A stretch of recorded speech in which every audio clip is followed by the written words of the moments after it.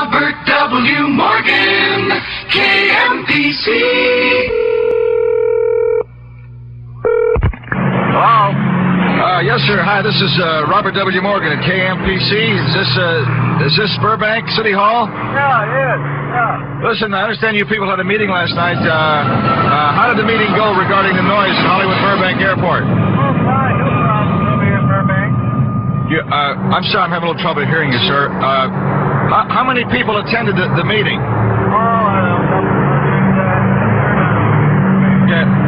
Uh, well, what was your conclusion? Uh, is there too much noise uh, at Hollywood Burbank Airport, in your opinion?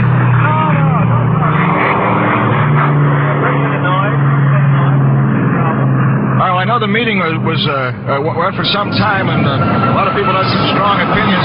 Did you people come up with any, any solution uh, for the future? Oh, no, it's just, uh, just gonna hold tight. So, in other words, that we can conclude uh, from the minutes of your meeting that there is no uh, no noise problem at the Hollywood Burbank Airport. Everything is normal over there. Sorry, I couldn't hear you. Could you say that again? All right, all right. all right, Uh, thank you very much, sir. All right. Good morning, Mr. Cronkite's office. Hi, this is uh, Robert W. Morgan at KMPC in Los Angeles. Good morning, Mr. Morgan. How are you today? Good, how are you? Fine. Listen, we were wondering, uh, Tom Wayman and myself, if we could speak with uh, Mr. Cronkite on the day of his final broadcast. You and who? Tom Wayman.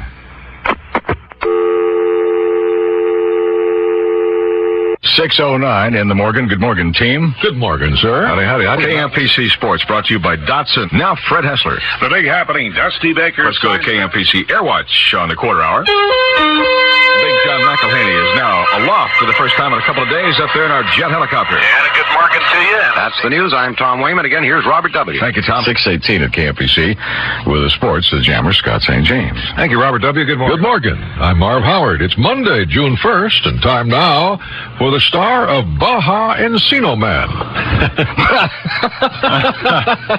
Robert W. Morgan.